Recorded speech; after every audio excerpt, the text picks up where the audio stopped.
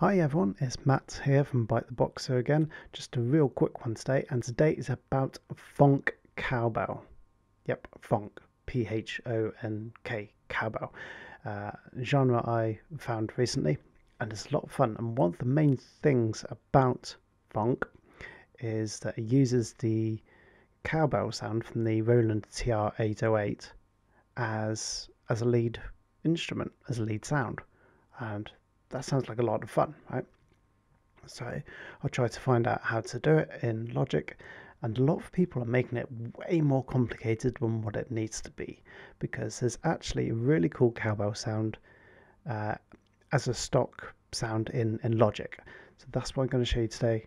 Quick, easy, and it'll fulfill all your phonk dreams. Okay? So, uh, up here, first track you've got uh, this uh, MIDI uh, instrument already set up. By default goes to Alchemy. And we're going to change that to drum synth. Okay. Standard stock Logic instrument drum synth. Uh, by default goes to kicks. We want percussion. And then 80s cowbell.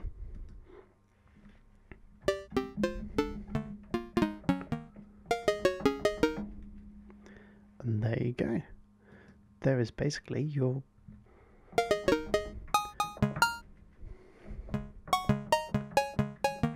that's basically your your phonk lead thing. So uh, here I'd put in some some MIDI, and so we've got this.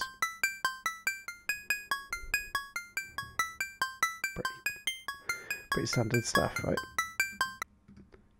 Uh, so we can. I like everything as you know, layers of reverb, just to make it go wild. So turn back a little bit, and then all we have to do from there is just add some drum loop and bit bass and.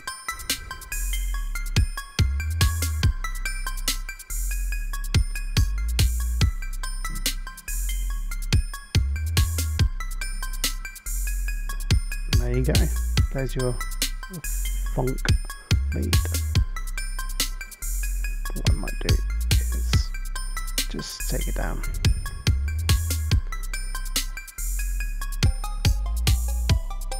Take it down octave.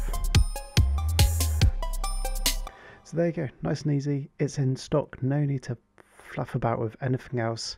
There's your 80s cowbell sound for, for Phonk. Hope you uh, find that useful any comments, questions, you know what to do. All right, take care.